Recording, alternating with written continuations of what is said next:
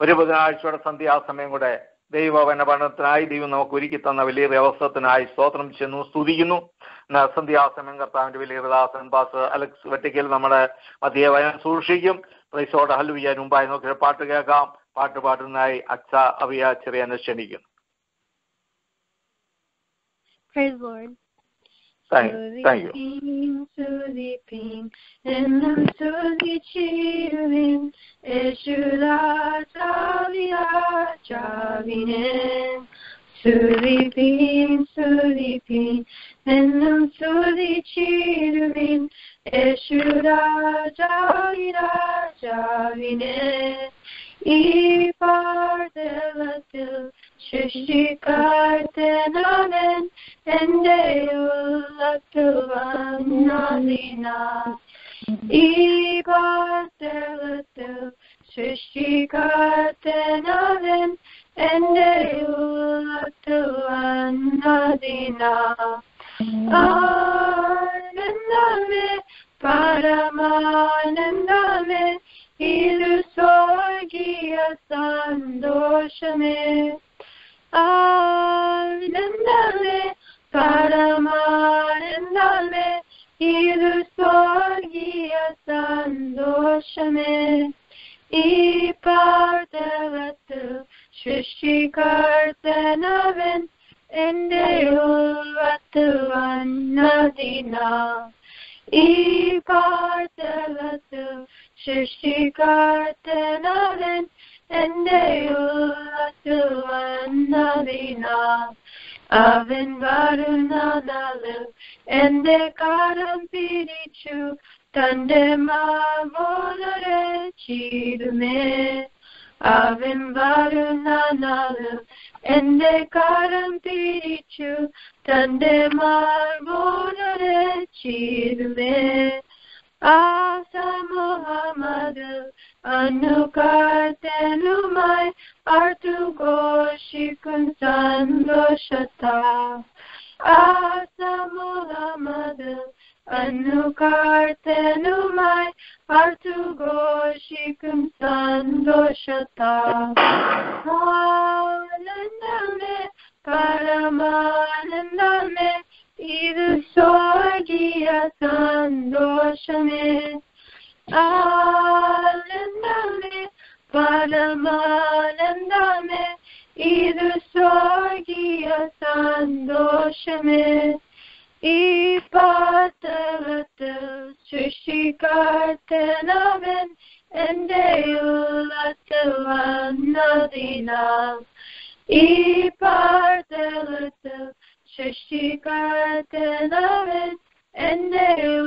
ഇത് സ്വർഗീയ സന്തോഷമേ ഈ പാത്രത്തിൽ സൃഷ്ടിക്കാത്തനവൻ എന്റെ ഉള്ളത്തിൽ വന്നതിനാൽ ഈ പാത്രത്തിൽ സൃഷ്ടിക്കാത്തനവൻ എന്റെ ഉള്ളത്തിൽ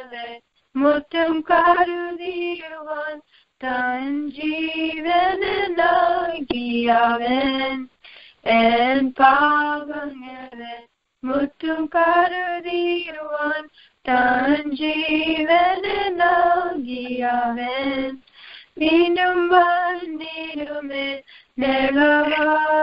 മുറ്റും கோரகோரிதந்தூதருமாய் விரும்பார் நிருமே மேல ஆயனத்து கோரகோரிதந்தூதரமாய் ஆனந்தமே பரமானந்தமே இது சோகிய சந்தோஷமே ஈ பார்த்தலத்தில் കോല കോരി തന്തൂതരമായി ആനന്ദമേ പരമാനന്ദമേ ഇത് സ്വർഗീയ സന്തോഷമേ ഈ പാട്ടലത്തിൽ സൃഷ്ടിക്കാത്തനവൻ എന്റെ ഉള്ളത്തിൽ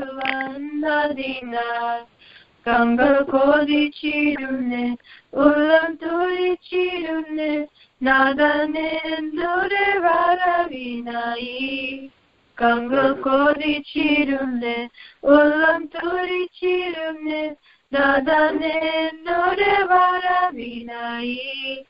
Palu kaşta dagal, erim dinan dorme, kaza ve ganni vanni rene. Palu kaşta dagal, dorme, ve. ആനന്ദമേ പരമാനന്ദമേ ഇത് സ്വർഗീയ സന്തോഷമേ. ആനന്ദമേ പരമാനന്ദമേ ഇത് സ്വർഗീയ സന്തോഷമേ. ഈ പാട്ടവത്തിൽ സൃഷ്ടിക്കർത്തനവൻ എന്റെ ഉള്ളത്തിൽ വന്നതിന ഈ പാട്ടവത്തിൽ സൃഷ്ടിക്കർത്തനവൻ എന്റെ ഉള്ളത്തിൽ വന്നതിന Thank you. God bless you. Thank you thank you ദൈവത്തിന് സ്തോത്രം. പൈസോർ ഹൽവി ആത്മീയമായി. വളരെ ഉത്തരം നൽകുന്ന പഴയൊരു പാട്ട് നമുക്ക് കേൾപ്പാൻ തക്കവടിയായി തീർന്നല്ലോ. യേശു കർത്താവിനെ നാം സ്തുതിക്കണം. ദൈവത്തിന് സ്തോത്രം. പരിശോധ ഹാലലുയ ദൈവത്തിന് സ്തോത്രം. നമുക്ക് സന്തോഷമാ. കാരണം ഹാലുയ ദൈവത്തിന് സ്തോത്രം. ദൈവമായിരുന്നവൻ ദൈവത്തോട്ടുള്ള സമത്വം മുറുകെ പിടിച്ചുകൊള്ളാനൊന്ന് വിചാരിക്കാതെ ഈ താണഭൂമിയിലേക്ക് കടന്നു വന്ന അവസാനത്തുള്ളി ചോരുകയും നമുക്ക് വേണ്ടി കാൽവറിയിൽ ഊറ്റി തന്ന നാം പാവികളായിരുന്നപ്പോൾ തന്നെ നമുക്ക് വേണ്ടി കാൽവറി യാഗമായി തീർന്ന. ദൈവത്തിന് സ്തോത്രം. പൈസോ ഹലുയ നിത്യ നരകത്തിന് അവകാശികളായിരുന്നു അമ്മേ. അവിടുന്ന് വീണ്ടെടുത്ത സ്വർഗത്തിൽ നമ്മുടെ പേരെഴുതി സ്വർഗീയ പൗരന്മാരാക്കി ദൈവമക്കളാക്കി തീർത്ത്. ദൈവത്തിന് സ്തോത്രം. ആ കർത്താവ് നമ്മളിൽ വസിക്കുന്നു. ദൈവത്തിന് സ്തോത്രം. അതുകൊണ്ട് കർത്താവിനെ നാം സ്തുതിക്കണം. കർത്താവിനെ ആരാധിക്കണമെന്ന് പാട്ടിലൂടെ നമുക്ക് കേൾപ്പാൻ തക്കമടിയായി തീർന്നല്ലോ. ദൈവത്തിന് സ്തോത്രം. പൈസോട് ഹാലുയ ദൈവത്തിന് സ്തോത്രം. പൈസോട് നമ്മുടെ ഭാഗ്യകരമായ പ്രത്യാശയാണ് അവൻ ആ മേഘ പ്രത്യക്ഷതയിൽ അവനോടൊപ്പം ആയിരിക്കാൻ ദൈവത്തിന് സ്തോത്രം. പൈസോട് ഹലലുയ കോടാ കോടാനുകോടി ദൂത ഭക്തന്മാരോട് ചേർന്ന് ദൈവത്തിന് സ്തോത്രം പൈസോട് ഹാൽവിയ. ആ വലിയ സമൂഹത്തിൽ ദൈവത്തെ കർത്താവിനെ സ്തുതിപ്പാൻ ആ സന്തോഷം പങ്കിടുക അത് നമ്മുടെ ഭാഗ്യകരമായ പ്രത്യാശയാണ്. അതിനാൽ നാം കാത്തിരിക്കുന്നവരാ ദൈവത്തിന് സ്വാതി പാട്ടിലൂടെ നമ്മുടെ പ്രത്യാശ ഉണർത്തിപ്പാൻ തക്കമിടയായി തീർന്നല്ലോ. കഷ്ടത നിറഞ്ഞ ലോകത്തിൽ അതെ രോഗം നിറഞ്ഞ ലോകത്തിൽ പ്രതികൂലങ്ങളും പ്രതിസന്ധികളും ആദ്യ ദുഃഖങ്ങളും നിറഞ്ഞ ലോകത്തിൽ ദൈവത്തിന് സ്തോത്രം. ദുഃഖമില്ലാത്ത രോഗമില്ലാത്ത ദൈവത്തിന് സ്തോത്രം. പൈസോട് ആലുയ ദൈവത്തിന് സ്തോത്രം. ആ കർത്താവിനോടൊപ്പം ചേർന്ന് പ്രൈസോട് ഹാലുയ മഹാസന്തോഷം അനുഭവിക്കാൻ കാത്തിരിക്കുന്ന നാം. അത് ഈ പാട്ടിലൂടെ നമ്മളെ ഓർമ്മപ്പെടുത്തി ദൈവത്തിന് സ്തോത്രം. പ്രത്യാശ ഒന്ന് പുതുക്കുവാൻ നമുക്ക് ഇടയാക്കി തീർത്തല്ലോ. പൈതങ്ങളെ ദൈവം അനുഗ്രഹിക്കുമാറാകട്ടെ. കൊടുത്താല താഴ്ന്നുകൾക്കായി സ്തോത്രം. അത് നാമോത്തരത്തിന് വേണ്ടി ഉപയോഗിക്കുവാൻ കൊടുത്തുകൊണ്ടിരിക്കുന്ന ഉത്സാഹത്തിനായി സ്തോത്രം. ഭാവി ദൈവം അനുഗ്രഹിക്കട്ടെ വിദ്യാഭ്യാസത്തെ മാനിക്കട്ടെ. ആ മാതാപിതാക്കന്മാരെ അനുഗ്രഹിക്കുമാറാകട്ടെ. ദൈവത്തിന് സ്തോത്രം. പരിശോഹലിയ ദൈവത്തിന് സ്തോത്രം. അത് പാട്ട് പാടിയ പൈതങ്ങളെ ഓർത്ത് ഇന്ന് വനം സൂക്ഷിക്കുന്ന കർത്താവിന്റെ വിലയർദാസൻ പാസ് അലക്സ് അലക്സ് വെട്ടിക്കലിനെ ഓർത്ത് പേരനെ ഓർത്ത് പേരനായിരിക്കുന്ന ഏവരെ ഓർത്ത് പേരനായിരിക്കുന്ന ഒരാൾക്ക് ശബ്ദമുയർത്തി പ്രാർത്ഥിക്കാം.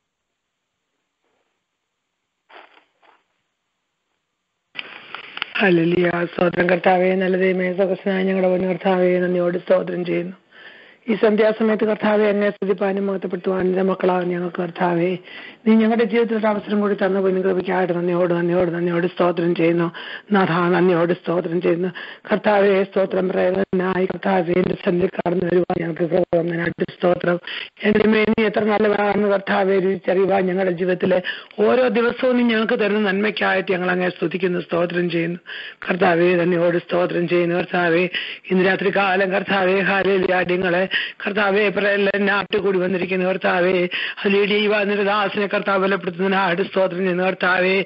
നീ അനുഗ്രഹിക്കുകയും സഹായിക്കുകയും ചെയ്യുമാറാകണമേ എന്ന് പ്രാർത്ഥിക്കുന്ന കർത്താവെ. ദാസന്റെ സകല ആവശ്യങ്ങൾക്കും പ്രാർത്ഥനാ വിഷയങ്ങളും കർത്താവെ മറുപടി കൊടുത്ത് മാനിക്കുമാറാകണമേ എന്ന് പ്രാർത്ഥിക്കുന്ന. അതാ സ്തോത്ര. കുഞ്ഞുങ്ങൾ കർത്താവെ ഹല്ലിൽ അനുഗ്രഹമായ പാട്ട് പാടിയല്ലോ കർത്താവെ.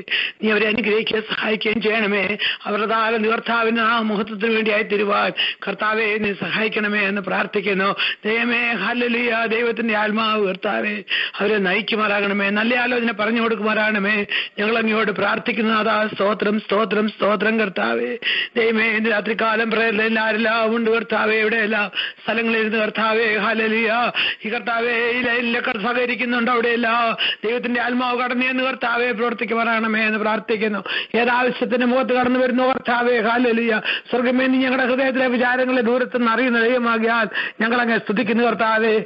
ചില ജീവിതങ്ങൾ വിടുതൽ പ്രാപിക്കുവാൻ ഇന്ന് രാത്രികാലം മുഖാന്തരമാക്കണമേ. കർത്താവിന്റെ രോഗികൾ സൗഖ്യപ്പെടുവാൻ രാത്രികാലം മുഖാന്തരമാക്കണമേ എന്ന് പ്രാർത്ഥിക്കുന്ന കർത്താവേ. ഹാലിൽ ഈ കർത്താവ് ഇന്ന് വചനം സംസാരിക്കാൻ ദൈവദാസനെ സ്വർഗത്തിലെ അച്ഛന്റെ കരങ്ങൾ ഞങ്ങൾ ഏൽപ്പിച്ച് പ്രാർത്ഥിക്കുന്ന കർത്താവേ. ദേവദാസൻ ദാസൻ വചനം സംസാരിക്കുമ്പോൾ ഹാലേലുയ വിടുതൽ നടക്കുവാൻ തക്കവണ്ണം ദൈവത്തിന്റെ ആത്മാവ് സഹായിക്കണമേ. ദാസനെ അഭിഷേകം ചെയ്യുമാറാകണമേ കർത്താവേ. ദൈവശക്തിയോട് ആരാധിപ്പ കർത്താവ് വചനം പറയുവാൻ കർത്താവ് കൃപ ചെയ്യണമേ എന്ന് പ്രാർത്ഥിക്കുന്നു. അത് കേൾക്കുന്നവർ കർത്താവ് വിടുതലായിരിക്കാൻ സഹായിക്കണമേ. കർത്താവെ അതിവേഗം കടന്നു വചനം കർത്താവെ ചില ജീവിതങ്ങളുടെ ഉള്ളിലെ കടന്നു ചെല്ലുമാറാകണമേ. കർത്താവെ സ്തോത്ര തകർന്നു നുറങ്ങിയുള്ള ചില ഹൃദയങ്ങൾക്ക് ആശ്വാസമായിരിക്കാൻ തക്കവണ്ണം. ഇന്ന് രാത്രി കാലം സഹായിക്കുവാറാകണമെന്ന് പ്രാർത്ഥിക്കുന്നു. അനേക പ്രാർത്ഥനയുടെ വിഷയങ്ങൾ കർത്താവെ ചോദ്യചിഹ്നമായിരിക്കുന്നു. വിഷയങ്ങളുടെ മേൽ ദൈവശക്തി വ്യാപരിക്കുമാറാകണമെന്ന് പ്രാർത്ഥിക്കുന്നു. കർത്താവെ ഹാലലിയ സ്തോത്ര. അനേക ഞങ്ങളൊക്കെ അനേക വിഷയങ്ങൾക്ക് വേണ്ടി ഇത് നിൽക്കുകയും പ്രാർത്ഥിക്കുകയും ചെയ്യുന്നുണ്ടല്ലോ കർത്താവെ. ദൈവമേ വചനമയച്ച് വിടുവിക്കുക ദൈവത്തിന്റെ ശക്തി. ആ വചനത്തിന് എന്തുമാത്രം ശക്തി ഉണ്ട് കർത്താവെ? അത് ഞങ്ങൾ കർത്താവേ ആ ഈ ദിവസങ്ങൾ അനുഭവിച്ചറിയുവാൻ കൃപ ചെയ്യുമാറാകണമേ എന്ന് പ്രാർത്ഥിക്കുന്നതാ സ്തോത്ര. ഇത് നേടിയ കർത്താവെ കുടുംബത്തെ ഓർത്ത് പ്രാർത്ഥിക്കുന്നു. സാജപ്രദനായിട്ട് വിശിഷ്ടമായിട്ട് സ്തോത്രം ചെയ്യുന്നു. കുഞ്ഞുങ്ങളെ മൂന്ന് പേരെയും അനുഗ്രഹിക്കണം അവനെ അനുഗ്രഹിക്കണമേ കർത്താവേ. അവരുടെ സകല ആവശ്യങ്ങളും പ്രാർത്ഥനാ വിഷയങ്ങളെ സഹായിക്കണമേ കർത്താവേ. അവരുടെ നിങ്ങളായി വിതരിച്ച സ്ഥലങ്ങളിൽ കർത്താവെ ഇവിടെ എല്ലാ സഹകരിക്കുന്ന എല്ലാ ദേവദാസന്മാരെയും കുഞ്ഞുങ്ങളെയും പാട്ട് പാടുന്നവരെല്ലാം ഞങ്ങൾ ഓർത്ത് പ്രാർത്ഥിക്കുന്നു. അനേക രോഗികൾ കർത്താവെ ഹാലലിയ. ഞങ്ങളുടെ കർത്താവെ ഇത് ശ്രമിക്കുന്നുണ്ട് കർത്താവ്. ചില രോഗികൾക്ക് വിടുതൽ സംഭവിപ്പാൻ തക്കണം രാത്രി കാലം കർത്താവിന്റെ ശക്തി വ്യാപരിക്ക് പറയണമേ ഞങ്ങൾ അങ്ങോട്ട് പ്രാർത്ഥിക്കുന്നു. നല്ല അവസരത്തിനായിട്ട് സ്തോത്രം ചെയ്യുന്ന കർത്താവ്. സ്തോത്രം. കർത്താവ് ഈ ലഭിക്കാത്ത അനേക ജീവിതങ്ങൾ ലോകത്തിലെ നാനാഭാഗത്തും സ്വതന്ത്രമായി എന്റെ കർത്താവിനെ ഒന്ന് സ്തുതിപ്പാൻ കഴിയാതെ സ്വാതന്ത്ര്യമായി ഒന്ന് പാടുവാൻ കഴിയാതെ കർത്താവെ സ്വതന്ത്രമായി ഒന്ന് വായ തുറക്കുവാൻ കഴിയാതെ അനേക ജീവിതങ്ങൾ കഷ്ടപ്പെടുമ്പോൾ ഹാലലിയ നീ നിങ്ങൾക്ക് ഒന്ന് സ്വാതന്ത്ര്യത്തിനായിട്ട് സ്തോത്രം ചെയ്യുന്ന കർത്താവേ. ദൈവമേ ഹാലലിയ സ്തോത്ര. കർത്താവേ ഹാലലിയ നിന്റെ നിന്റെ കർത്താവേ ഹിതം ഞങ്ങളുടെ നിറവേറുവാൻ സഹായിക്കുമാറാകണമേ. അങ്ങ് ഞങ്ങളെ കൊണ്ട് എന്താഗ്രഹിക്കുന്നു ഓർത്താതെ അത് മുഴുവൻ അർപ്പിച്ചെടുക്കാൻ സഹായിക്കണമേ. നല്ല മനസ്സാക്ഷിയോടെ ദൈവത്തെ ആരാധിപ്പാൻ കർത്താവേ ഈ ദിവസങ്ങളിൽ സഹായിക്കണമേ. എല്ലാ ദൈവസഭകളെയും ദേവദാസന്മാരെ ഓർത്ത് പ്രാർത്ഥിക്കുന്നു. എല്ലാ ദൈവമക്കളെ ഓർത്ത് പ്രാർത്ഥിക്കുന്നു കർത്താവേ. അവർക്കൊരു കഷ്ടവും നഷ്ടവും ഉണ്ടാവാനിടയാക്കരുത്. ഞങ്ങളുടെ കുഞ്ഞുങ്ങളെല്ലാം ഓർത്ത് പ്രാർത്ഥിക്കുന്നു കർത്താവേ. ഇടുവിൽ ഞങ്ങൾ പ്രാർത്ഥിക്കുന്ന നിമിത്തം കർത്താവേ അടിയങ്ങളുടെ ഒക്കെ തലമുറകൾ അനുഗ്രഹിക്കപ്പെട്ട് വരുവാൻ സഭയിലെ കുഞ്ഞുങ്ങൾ അനുഗ്രഹിക്കപ്പെട്ട് വരുവാൻ ദേശം അനുഗ്രഹിക്കപ്പെടുവാൻ സഹായിക്കുമാറാകണമേ കർത്താവിന്റെ കരസമണമായി ഏൽപ്പിക്കുന്ന കർത്താവ് പ്രാർത്ഥന കർവിക്കാൻ കട്ടവയ്ക്കായിട്ട് സ്തോത്ര. അപേക്ഷിക്കുന്ന കേൾക്കുമാറാകണമേ പിതാവേ. ദൈവം അനുഗ്രഹിക്കട്ടെ. ദൈവം നമ്മുടെ പ്രാർത്ഥന കേട്ടുകൊണ്ട് ദൈവത്തെ സ്തുതിക്കാം. ദൈവത്തിന്റെ സ്തോത്രം വന കഴിവിക്കായി നമ്മുടെ കഥകളെ തിരിക്കാം പ്രാർത്ഥനയോടെ ദൈവസനിലായിരിക്കാം ദൈവത്തിന്റെ സ്തോത്രം അനുപഠിപ്പിക്കുന്നതായി കർത്താവിന്റെ വലിയ ദാസൻ അലക്സ് വെട്ടിക്കലിനെ ക്ഷണിക്കാം. സ്തോത്രം. താങ്ക് യു വീണ്ടും തിരുവചനവുമായി ദൈവസ്ഥനിലായിരിക്കുവാൻ ദൈവം ഒരുക്കിയ ഈ നല്ല അവസരത്തിനായി ഞാൻ ദൈവത്തിന് സ്തോത്രം ചെയ്യുന്നു. ഈ കഴിഞ്ഞ ആഴ്ചയിൽ ഞാൻ ഈ സമയം ക്ലാസ് എടുക്കേണ്ടതായിരുന്നു. ഞാൻ യാത്രയിലായിരുന്നതുകൊണ്ടാണ് യാത്രയിലായിരുന്നത് കൊണ്ടാണ് ചില ദിവസങ്ങൾ യാത്രയിലായിരുന്നുകൊണ്ടാണ് കടന്നു വരുവാൻ കഴിയാതെ പോയത്. വീണ്ടും ഈ ബുധനാഴ്ച നമുക്ക് ഒരുമിച്ച് ദൈവസ്ഥലായിരിക്കുവാനും ദൈവവചനത്തിന്റെ ചുറ്റാകെയായിരിക്കുവാനും ദൈവം ഒരുക്കിയ ഈ നല്ല അവസരത്തിനായി പിന്നെയും സ്തോത്രം ചെയ്യുന്നു. നമ്മൾ കഴിഞ്ഞ രണ്ടാഴ്ചയ്ക്ക് മുൻപ് തുടങ്ങി വെച്ച സബ്ജക്റ്റ് നിങ്ങൾ ഓർക്കുന്നുണ്ടാകും എന്ന് ഞാൻ കരുതുന്നു. വാക്യമായി വായിച്ച വേദഭാഗം നിങ്ങൾ അത് മറക്കരുത്. ലൂക്കോസിന്റെ സുവിശേഷം പതിനേഴാം അധ്യായത്തിന്റെ ഇരുപത്തിയാറാം വാക്യമാണ് നമ്മൾ കുറിവാക്യമായി എടുത്തത്. നോ ആ ആ കുറിവാക്യം ദയവായിട്ട് ഒരു പ്രാവശ്യം കൂടെ വായിച്ച് നിങ്ങളുടെ ഓർമ്മയിലേക്ക് അതൊന്ന് മടക്കി കൊണ്ടുവരുവാൻ വേണ്ടിയാണ് പതിനേഴിന്റെ ലൂക്കോസിന്റെ സുവിശേഷം പതിനേഴാം അധ്യായത്തിന്റെ ഇരുപത്തിയാറാമത്തെ വാക്യം. നോഹയുടെ കാലത്ത് സംഭവിച്ചതുപോലെ മനുഷ്യപുത്രന്റെ നാളിലും ഉണ്ടാകും. നോഹയുടെ കാലം അതുപോലെ മനുഷ്യപുത്രന്റെ നോഹയുടെ കാലം പോലെ മനുഷ്യപുത്രന്റെയും കാലത്ത് സംഭവിക്കും. എന്താണ് നോഹയുടെ കാലഘട്ടത്തിൽ സംഭവിച്ചതെന്നും മനുഷ്യപുത്രൻ അഥവാ കർത്താവായ യേശുക്രിസ്തുവിന്റെ കാലത്ത് അതിനോട് അനുരൂപമായിട്ട് അതിന് അനുയോജ്യമായിട്ട് അല്ലെങ്കിൽ അതുപോലെ എന്തൊക്കെയാണ് സംഭവിക്കുന്നതെന്നും തമ്മിലുള്ള ഒരു താരതമ്യ പഠനമാണ് നമ്മൾ നടത്തുവാൻ ആഗ്രഹിക്കുന്നുള്ള കാര്യം ഞാൻ കഴിഞ്ഞ ദിവസം ഈ ക്ലാസ് ആരംഭിച്ചപ്പോൾ ഞാൻ പറയുകയുണ്ടായല്ലോ. നോഹയുടെ കാലവും യേശുക്രിസ്തുവിന്റെ കാലവും ഒരു താരതമ്യ പഠനമാണ്. അങ്ങനെ നമ്മൾ ആ നോഹയുടെ കാലഘട്ടത്തിലെ പോലെ ഒരു കാലഘട്ടത്തിൽ എത്തിയിരിക്കുമ്പോൾ നമ്മുടെ കർത്താവായ യേശുക്രിസ്തുവിന്റെ വരവിനോട് ബന്ധപ്പെട്ടത് എങ്ങനെയായിരിക്കുന്നു എന്നുള്ളതാണ് നമ്മൾ ഈ പഠനത്തിൽ ചിന്തിക്കുവാൻ ആഗ്രഹിക്കുന്ന കാര്യം എന്നുള്ളത് ഞാൻ ഓർമ്മപ്പെടുത്തി. അത് ഒന്നുകൂടെ നിങ്ങളുടെ ഓർമ്മയിൽ കൊണ്ടുവന്നു എന്ന് മാത്രമേ ഉള്ളൂ. കഴിഞ്ഞ ദിവസം നമ്മൾ പഠിച്ചപ്പോൾ അല്ലെങ്കിൽ നമ്മൾ ചിന്തിച്ചപ്പോൾ അന്ത്യകാലം എന്നുള്ളത് കൊണ്ട് മീൻ ചെയ്യുന്നത് എന്താണെന്നും അന്ത്യകാലം എന്ന വാക്കിൽ അല്ലെ അന്ത്യകാലത്ത് സംഭവിച്ച കാര്യങ്ങൾ എന്താണെന്നും അല്ലെങ്കിൽ അന്ത്യകാലം എന്ന് പറയുന്ന ആ കാലഘട്ടം ഏതെല്ലാം സന്ദർഭങ്ങളെ കുറിക്കുന്നുവെന്നും ഒക്കെ ഞാൻ കഴിഞ്ഞ ദിവസം പറയുകയുണ്ടായി. പിന്നീട് നോഹയുടെ ജനനത്തെ പറ്റി ഞാൻ ചില വാക്കുകൾ പ്രസ്താവിച്ചു. നോഹ എന്ന വാക്കിന്റെ അർത്ഥം എന്താണെന്നും ആ, നോഹയെ പറ്റി ദൈവം പറഞ്ഞിരിക്കുന്ന അഭിപ്രായം എന്താണെന്നും ഒക്കെ നോഹയുടെ ജനനത്തെ പറ്റിയാണ് അല്ലെങ്കിൽ നോഹയുടെ പേരിന്റെ അർത്ഥത്തെ ഒക്കെ പറ്റിയാണ് ഞാൻ പറഞ്ഞ് അവസാനിപ്പിച്ചതെന്നാണ് എന്റെ ഓർമ്മ. ആ നോഹയെ പറ്റി ദൈവം പറഞ്ഞിരിക്കുന്ന സാക്ഷ്യം അതുകൂടെ പറഞ്ഞിട്ട് അടുത്ത സബ്ജക്റ്റിലേക്ക് അല്ലെങ്കിൽ നമ്മുടെ മെയിൻ സബ്ജക്റ്റിലേക്ക് നമുക്ക് തിരിയാം. ഇത് ഞാനൊരു ഇൻട്രഡക്ഷൻ ആണ് ഈ ആദ്യത്തെ ദിവസം പറഞ്ഞത്. നോഹയെ പറ്റി ദൈവം പറഞ്ഞിരിക്കുന്ന അഭിപ്രായം നമ്മൾ കുറിവാക്യം അത് വായിച്ചെങ്കിലും നമ്മൾ ചിന്തിക്കുന്നത് ഉൽപ്പത്തി പുസ്തകം അഞ്ചാം അധ്യായത്തിന്റെ അവസാന ഭാഗം മുതൽ ആറും ഏഴും എട്ടും ഒമ്പതും പത്തും അധ്യായങ്ങളൊക്കെയാണ് നമ്മൾ ഈ തുടർന്നുള്ള ദിവസങ്ങളിൽ പഠിക്കുന്നത്. അതുകൊണ്ട് മടങ്ങി നമുക്ക് ഉൽപ്പത്തി പുസ്തകത്തിലേക്ക് തന്നെ പോകാം. ഉൽപ്പത്തി പുസ്തകം നിങ്ങൾ ചില വേദഭാഗങ്ങൾ വായിച്ച് സഹായിക്കണം. അത് കഴിഞ്ഞ ദിവസം ഞാൻ പറഞ്ഞാണെന്നാണ് എന്റെ വിശ്വാസം. എങ്കിലും ഒന്നുകൂടെ ആവർത്തിച്ചിട്ട് ഞാൻ തുടർന്നുള്ള കാര്യങ്ങളിലേക്ക് പ്രവേശിക്കാം. ഏഴ് ആറാം അധ്യായത്തിന്റെ ഒൻപതാമത്തെ വാക്യം. കർത്താവ് ദൈവം തന്നെ നോഹയെ പറ്റി പറഞ്ഞിരിക്കുന്ന ഒരു ഒരു സർട്ടിഫിക്കേഷൻ ഒരു ഒരു ഒരു അഭിപ്രായമാണ് നമുക്ക് അവിടെ വായിക്കുവാൻ കഴിയുന്നത്. ഒൻപതാം വാക്യം ആറിന്റെ ഒൻപത്. നോഹയുടെ വംശപാരമ്പര്യം എന്തെന്നാൽ നോഹ നീതിമാനും തന്റെ തലമുറയിൽ നിഷ്കളങ്കനുമായിരുന്നു. നോഹ ദൈവത്തോട് കൂടെ നടന്നു. നോക്കണം നോഹയെ പറ്റി പറഞ്ഞിരിക്കുന്ന ഒരു ഒരു ഒരു കോണ്ടാക്ട് സർട്ടിഫിക്കറ്റ് ഇപ്പം നമ്മളൊക്കെ ഇന്നത്തെ കാലത്ത് ഉണ്ടോ എന്ന് എനിക്കറിയത്തില്ല. ഞങ്ങളൊക്കെ പഠിക്കുന്ന അല്ലെങ്കിൽ എനിക്ക് മുൻപ് പഠിച്ചിട്ടുള്ള ഒരു ഹൈസ്കൂളിലൊക്കെ പഠിച്ചിട്ടുള്ള ആളുകൾക്ക് നമ്മുടെ എസ് എസ് എൽ സി പരീക്ഷ കഴിയുമ്പോൾ എസ് എൽ സി പരീക്ഷയോടൊപ്പം പരീക്ഷ നമ്മുടെ സർട്ടിഫിക്കറ്റിനോടൊപ്പം ഹെഡ് മാസ്റ്റർ എഴുതി തരുന്ന ഒരു സർട്ടിഫിക്കറ്റ് ഉണ്ട്. അതിന് കോണ്ടാക്ട് സർട്ടിഫിക്കറ്റ് എന്നാണ് നമ്മൾ സാധാരണ പറയാറുള്ളത്.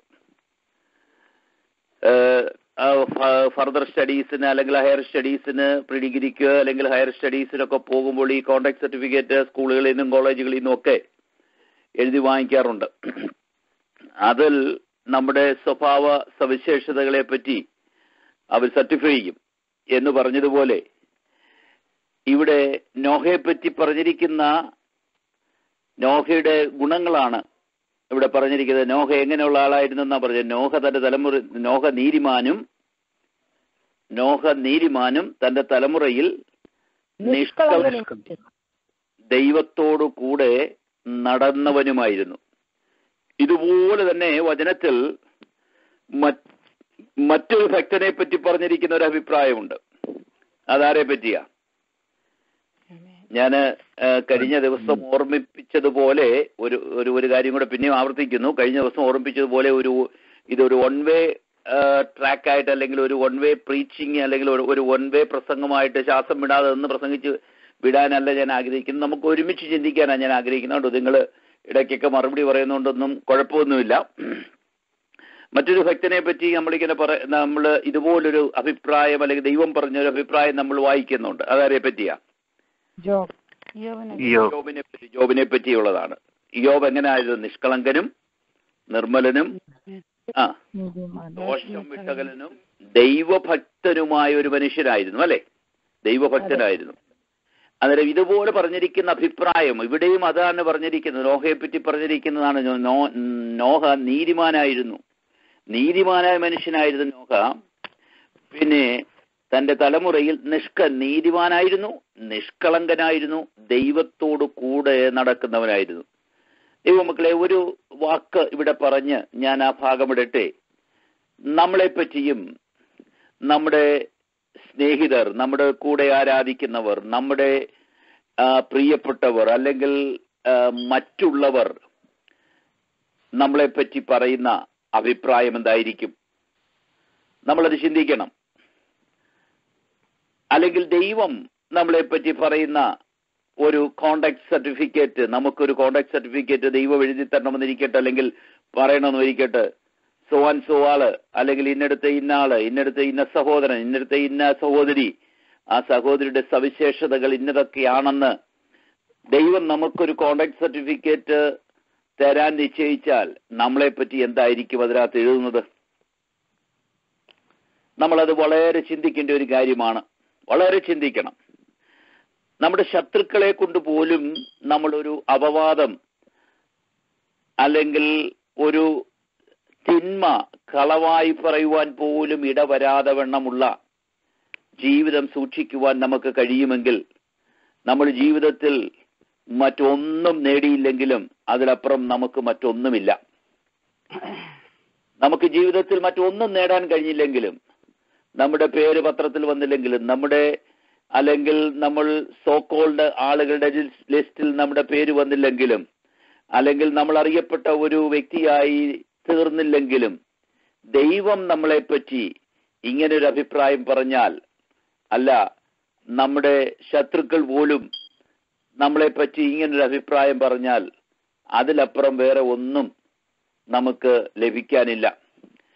മരിച്ചു കിടക്കുമ്പോൾ ശവത്തിന്റെ മുൻപിൽ വന്നു നിന്നുകൊണ്ട് ഉള്ളതും ഇല്ലാത്തതും ഒക്കെ പറയുന്നത് നമ്മുടെയൊക്കെ പ്രത്യേകതയാണ് നമ്മൾ അതിനൊട്ടും മോശക്കാരല്ല.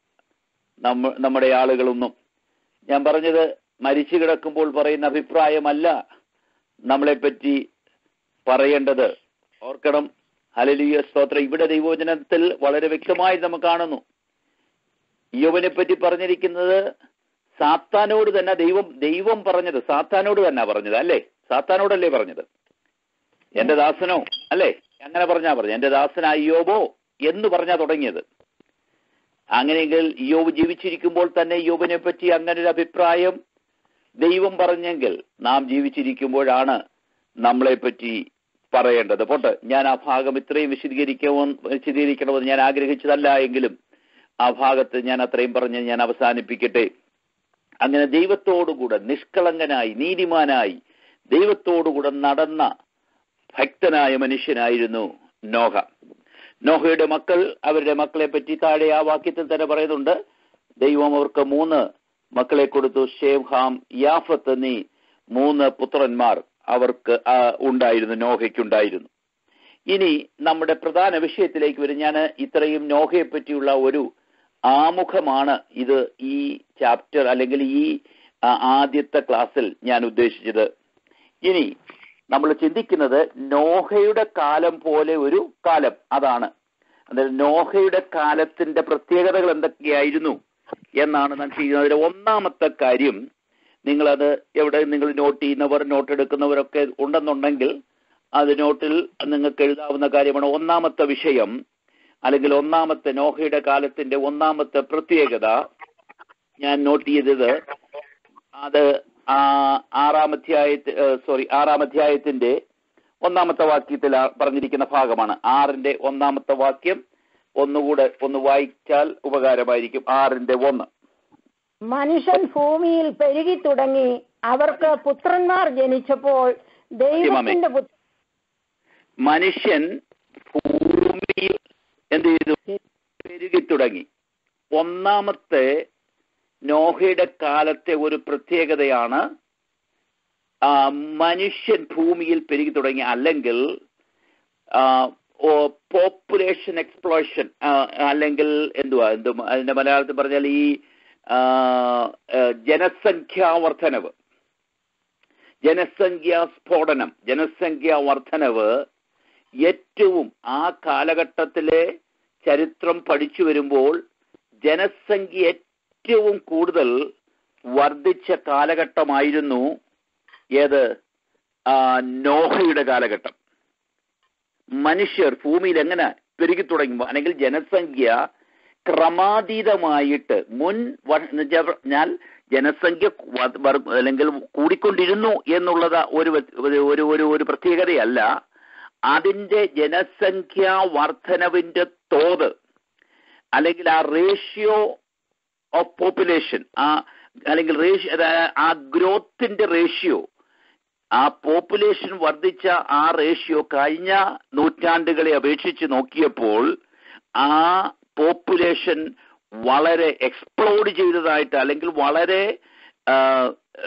ഒരു ഒരു സ്ഫോടനം പോലെ ഒരു വളരെ വലിയ വ്യത്യാസം നോഹയുടെ കാലഘട്ടത്തിൽ ഉണ്ടായിട്ടുണ്ട്. അത് നമ്മുടെ ഇന്നത്തെ കാലഘട്ടവുമായിട്ട് താരതമ്യം ചെയ്ത് പഠിച്ചാൽ അത് നമുക്ക് വ്യക്തമായിട്ട് അത് നമുക്ക് മനസ്സിലാക്കുവാൻ കഴിയും എന്നുള്ളത് സത്യമാണ്. ഓരോ നൂറ്റാണ്ടുകളിലെയും ജനസംഖ്യ ആ ജനസംഖ്യയുടെ ചരിത്രം നമ്മൾ പഠിച്ച് പഠിച്ച് പഠിച്ചു വന്നാൽ ഈ കഴിഞ്ഞ പത്തിരുപത്തിയൊന്ന് നൂറ്റാണ്ടുകളിലെ ജനസംഖ്യയുടെ വർദ്ധവിന് വർധനവിന്റെ ആ റേഷ്യോയെ പറ്റി നമ്മൾ ഒന്ന് താരതമ്യം ചെയ്ത് പഠിച്ചാൽ ഞാൻ പറയുന്നത് ജനസംഖ്യ വർദ്ധിക്കുന്നത് എല്ലാ കാലഘട്ടത്തിലും ഉണ്ട്. അത് അതിനെ ഉദ്ദേശിച്ചല്ല ഇവിടെ സംസാരിക്കുന്നത്. ആ ജനസംഖ്യ വർധനവിന്റെ റേഷ്യോ അല്ലെങ്കിൽ ആ നിരക്ക് ഏറ്റവും കൂടുതൽ ആ ഒന്നാം നൂറ്റാണ്ടുകളിലെ അല്ലെങ്കിൽ ആദ്യ നൂറ്റാണ്ടുകളിലെ ഒക്കെ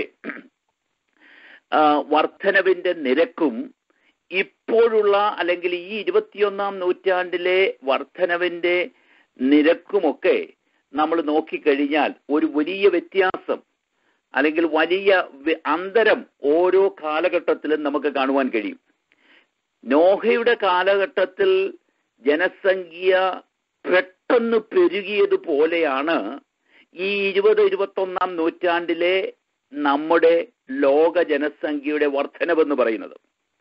നിങ്ങൾക്കറിയാമോ ഇപ്പോഴത്തെ വേൾഡ് പോപ്പുലേഷൻ എന്ന് പറയുന്നത് നമ്മുടെ ലോകത്തിലെ മുഴുവൻ ജനസംഖ്യയുടെ എണ്ണം world population almost seven point six billion ആളുകൾ ലോകത്തിലുണ്ട്. എഴുന്നൂറ്റി അറുപത് കോടിയിൽ അധികം ആളുകൾ ഇന്ന് ലോകത്തിലുണ്ട്. സെവൻ പോയിന്റ് സിക്സ് ബില്യൺ ആളുകൾ. ഇതിലെ നമ്മുടെ ഇന്ത്യയിലെ പോപ്പുലേഷൻ തന്നെ വളരെ ചിന്തനീയമായ ഒരു വർധനമായിരുന്നു കഴിഞ്ഞ നൂറ്റാണ്ടുകളിൽ ഉണ്ടായത് വളരെ ചിന്തനീയമായ ഒരു അൻപത് വർഷം മുമ്പൊക്കെ നോക്കിയാൽ വർധനവിന്റെ എണ്ണം അംഗസംഖ്യയുടെ എണ്ണം അല്ലെങ്കിൽ ജനസംഖ്യയുടെ എണ്ണം ഒരു വളരെ കുതിച്ചു കയറ്റം പോലെയായിരുന്നു ഇന്ത്യയിലും ചൈനയിലും പ്രത്യേകിച്ച് ഏഷ്യൻ രാജ്യങ്ങളിൽ ഉണ്ടായ വർധനവെന്ന് പറയുന്നത്. ലോകത്തിലെ ഏറ്റവും കൂടുതൽ അംഗസംഖ്യയുള്ള രാജ്യമാണ് ഏത്? ആ ചൈന ഇന്ന് ഏകദേശം one point four five billion people അല്ലെങ്കിൽ നൂറ്റി നാൽപ്പത്തിയഞ്ച് കോടിയിലധികം ജനം ചൈനയിൽ തന്നെ ഉണ്ട്. തൊട്ട് താഴെ നിൽക്കും India. India. One point four billion നൂറ്റി നാൽപ്പത് കോടി ജനങ്ങൾ ഇന്ത്യയിൽ തന്നെയുണ്ട്. അപ്പോഴ് നോക്കണം ഈ വർധനമെന്ന് പറയുന്നത് ഈ കഴിഞ്ഞ ഒരു പത്തൊൻപത് വർഷം മുൻപ് മുതൽ ഈ വർധനവിന് വേണ്ടി നമ്മുടെ ഇന്ത്യയിലും ചൈനയിലുമൊക്കെ ആ ജനസംഖ്യാ വർധനവ് കുറയ്ക്കുവാൻ വേണ്ട ഒത്തിരി ഒത്തിരി പദ്ധതികൾ ഗവൺമെന്റ് നടപ്പാക്കുന്നുണ്ടായിരുന്നു. എങ്കിലും ആ വർധനവിന് കുറവില്ല. ഈ ജനസംഖ്യ ഓരോ ദിവസം കഴിയുന്തോറും വർദ്ധിച്ചുകൊണ്ടിരിക്കുകയാണ്. ഈ അമേരിക്കയിലെ ജനസംഖ്യ ഏതാണ്ട് ത്രീ ഹൺഡ്രഡ് മുപ്പത് മില്യൺ പീപ്പിൾ മുന്നൂറ്റി മുപ്പത് അതായത് മുപ്പത്തിമൂന്ന് കോടി ജനങ്ങൾ ഈ അമേരിക്കയിലുണ്ട്. ഒരു കാര്യം കൂടെ ഞാൻ അതിനോട് ബന്ധപ്പെട്ട് ഞാൻ പറയട്ടെ. അമേരിക്കയുടെ പോപ്പുലേഷന്റെ ഏകദേശം നാലിരട്ടി ജനസംഖ്യ നമ്മുടെ മാതൃരാജ്യമായ ഇന്ത്യയിലുണ്ട്. ഓർക്കണം അമേരിക്കയിലെ മൊത്തത്തിലുള്ള ജനസംഖ്യയുടെ നാലിരട്ടി മുന്നു ആ, ഏതാണ്ട് മുപ്പത്തിമൂന്ന് കോടി ജനങ്ങൾ മാത്രമേ അമേരിക്കയിലുള്ള മുപ്പത്തിമൂന്നിലധികം കോടി ജനങ്ങൾ മാത്രം. എന്നാൽ ആ സ്ഥാനത്ത് നൂറ്റി നാൽപ്പത് കോടി ജനങ്ങൾ ഇന്ത്യയിലുണ്ട്. അത്രയും വ്യത്യാസം. നാലിരട്ടി. എന്നാൽ ഭൂപ്രകൃതി അനുസരിച്ച് നോക്കിയാൽ ഏകദേശം നമ്മൾ സാധാരണ ടെക്സാസിന്റെ ആകൃതിയിലൊക്കെയാണ് ഇന്ത്യ ആയിരിക്കുന്നത് എന്നുള്ള കാര്യം നമുക്ക് അറിയാം. അതിന്റെ ഷേപ്പൊക്കെ നോക്കിയാൽ അതിന്റെ ഷേപ്പ് വെച്ച് നോക്കിക്കഴിയുമ്പോൾ ടെക്സാസിനോട് താരതമ്യപ്പെടുത്തിയ സാധാരണ പറയാറുള്ളത്.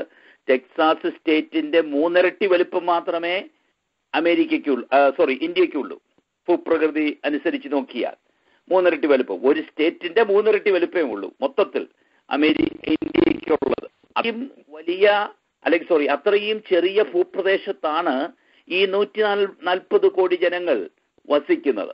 നോക്കട്ടെ ഞാൻ പറഞ്ഞത് പറഞ്ഞു വരുന്നത് ഇതുപോലെ നോഹയുടെ കാലഘട്ടത്തിൽ ജനസംഖ്യ വളരെ വർദ്ധിച്ച് പെരുകി വന്ന ഒരു കാലഘട്ടമായിരുന്നു അത്.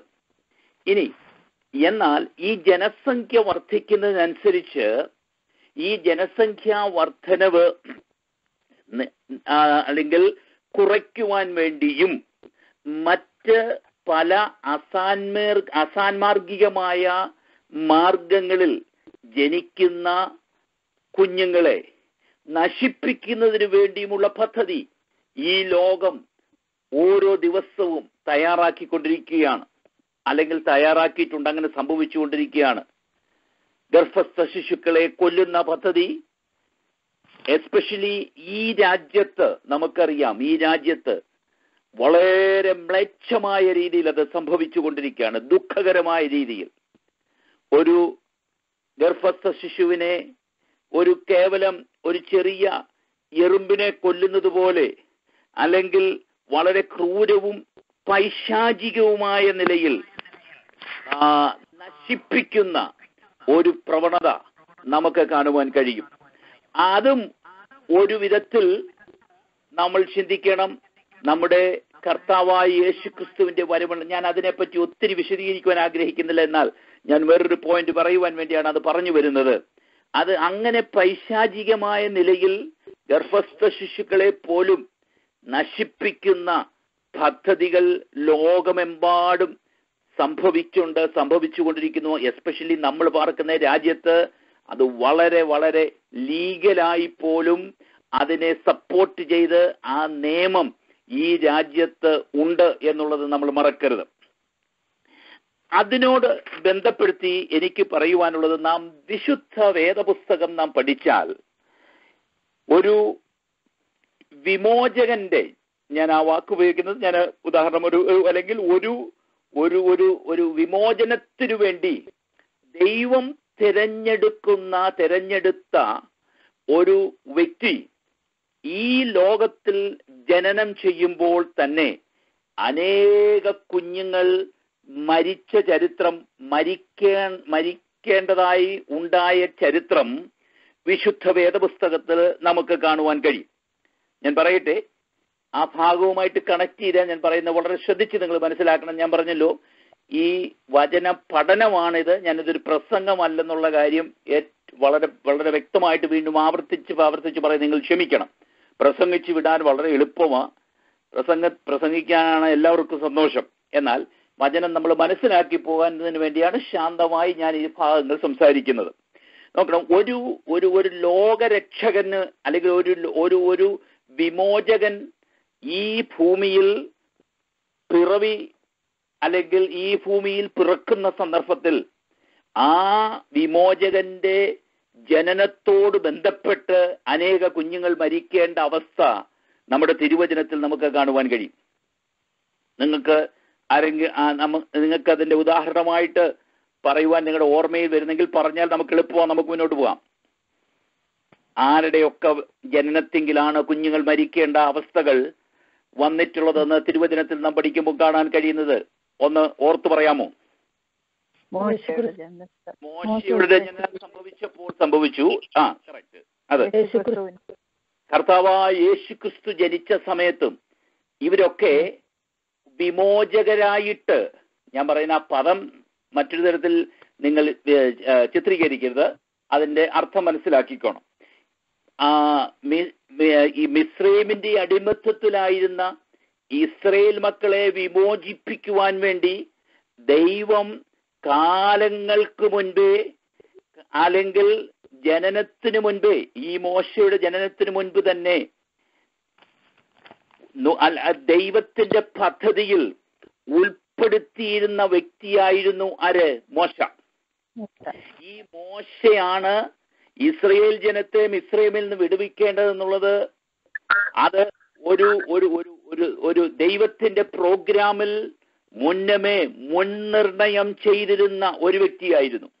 ഈ മോശ ഭൂമിയിൽ ജനിച്ച സന്ദർഭത്തിൽ ശ്രദ്ധിക്കണം ഈ ഭൂമിയിൽ ജനിച്ച സന്ദർഭത്തിൽ മോശയുടെ ജനന സമയത്ത് തന്നെ അന്നത്തെ ഫറവോൻ ഇസ്രയേൽ മക്കൾ വർദ്ധിച്ചു വരുന്നു എന്ന് കണ്ട് അവർ പ്രബലരായി തീർന്ന് ഒരുപക്ഷെ അവർ മിസ്രൈമിനെ അടക്കി ഭരിക്കുമോ എന്നുള്ള ഭയം കൊണ്ട് തന്നെ ഈ ഇസ്രയേൽ മക്കളിൽ അല്ലെങ്കിൽ ഇസ്രയേലിന്റെ ഇസ്രയേലിലെ സ്ത്രീകൾ പ്രസവിക്കുന്ന ആൺകുഞ്ഞുങ്ങളെ പ്രസവത്തോട് ചേർന്ന് തന്നെ പ്രസവ സമയത്ത് തന്നെ കൊല്ലുവാൻ വേണ്ടി രണ്ട് സ്ത്രീകളെ ക്രമപ്പെടുത്തിയിരുന്നു. പക്ഷേ അവർ ദൈവത്തെ ഭയപ്പെടുന്നവരായതുകൊണ്ട് അവർ എന്തു ചെയ്യും? അങ്ങനെ കുഞ്ഞുങ്ങളെ കൊല്ലാതെ അവർ അങ്ങ് തടിയൂരി അങ്ങനെ പറയാം അങ്ങ് തടി അങ്ങ് രക്ഷപ്പെട്ട് അവരങ്ങനെ മാറി. എന്തുകൊണ്ട്? അതുകൊണ്ടും ഫറവോൻ എന്ത് ചെയ്തില്ല?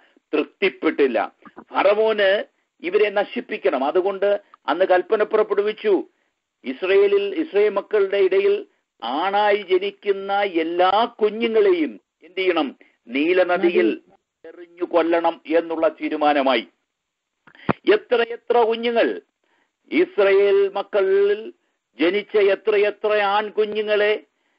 നീലനദിയിലെ ആ തിമിംഗലങ്ങളും നീലനല്ലിലെ ഹിംസ്ര ജന്തുക്കൾ അല്ലെങ്കിൽ ഹിംസ്ര ജീവികളൊക്കെ കടിച്ചു കീറി കൊന്ന് ആ കുഞ്ഞുങ്ങളുടെ ജീവിതം അവസാനിപ്പിച്ചത് നാം ഓർക്കണം. എന്നാൽ ഞാൻ പറയട്ടെ ആര് അതൊരു ദൈവത്തിന്റെ പദ്ധതിയായിട്ട് പറയട്ടെ. ആര് അലലിയ സ്തോത്രം.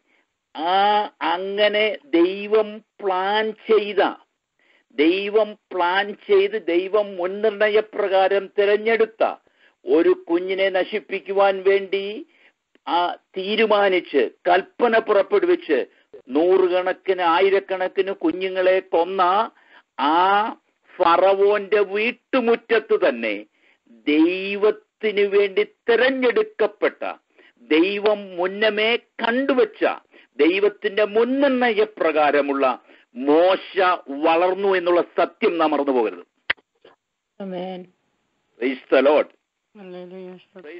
നാം എത്ര ദൈവത്തെ ശ്രദ്ധിച്ചാലോക്കും എന്റെ വാത്സല്യ സഹോദരങ്ങളെ നിങ്ങൾ ആ ഹാലലിയ നിങ്ങൾ നിങ്ങളുടെ ഹൃദയം നിങ്ങളുടെ നെഞ്ചത്തോട് കൈവച്ച് നിങ്ങൾക്ക് പറഞ്ഞുകൂടായോ? ലോകത്തിലെ ഏതെല്ലാം ശക്തികൾ നമ്മൾക്ക് അല്ലെങ്കിൽ ദൈവം നമ്മളെപ്പറ്റി ഒരു പദ്ധതി ഇട്ടിട്ടുണ്ടെങ്കിൽ ദൈവം നമ്മളെപ്പറ്റി ഒരു പ്ലാൻ തയ്യാറാക്കിയിട്ടുണ്ടെങ്കിൽ അതിനെ ഇല്ലായ്മ ചെയ്യുവാൻ അതിനെ നശിപ്പിച്ച് കളയുവാൻ അതിനല്ലെങ്കിൽ അത് അതിനെ മുടിച്ചു കളയുവാൻ ലോകത്തിലുള്ള മുഴുവൻ ശക്തികൾ തീരുമാനിച്ചാലും അത് സംഭവ്യമല്ല.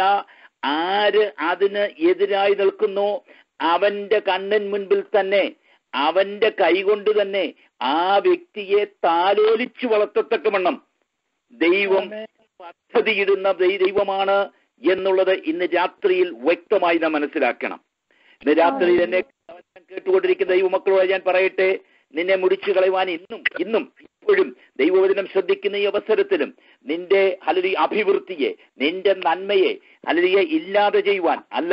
ഒരു സ്റ്റെപ്പ് കൂടെ കടന്ന് ഞാൻ പറയട്ടെ ഹലലിയ ഈ ഇതിനോട് ചേർന്നൊരു ദൂതായിട്ട് തന്നെ പറയട്ടെ. നിന്റെ തലമുറകളെ പോലുമാണെങ്കിലും നശിപ്പിക്കുവാൻ ദുഷ്ടപ്പിശാജ് പദ്ധതിയിട്ട് കാര്യങ്ങൾ ഹലലിയ തന്ത്രങ്ങളൊക്കെ ഒരുക്കിയാലും ഒരു കാര്യം മനസ്സിലാക്കണം.